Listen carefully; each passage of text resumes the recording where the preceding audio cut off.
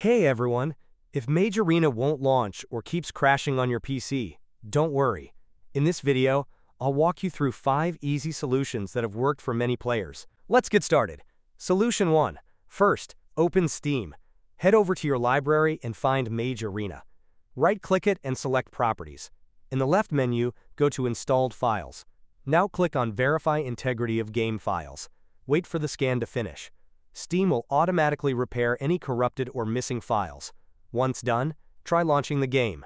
Solution 2. Go back to Steam, right-click Mage Arena, and choose Properties again.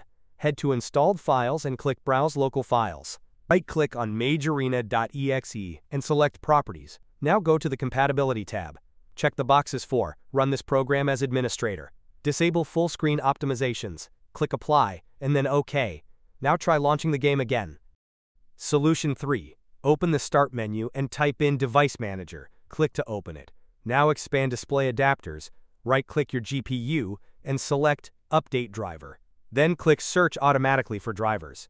Let Windows update your graphics card to the latest version, if needed. Solution 4. If you're using an NVIDIA graphics card, open the Start menu and type NVIDIA App. Launch the app and click the Drivers tab.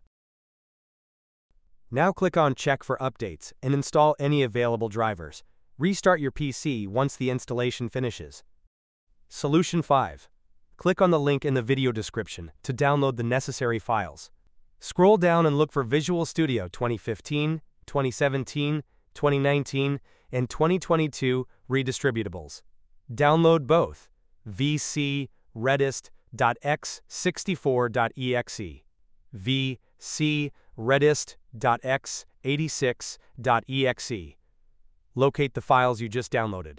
First, double-click vcredist.x64.exe.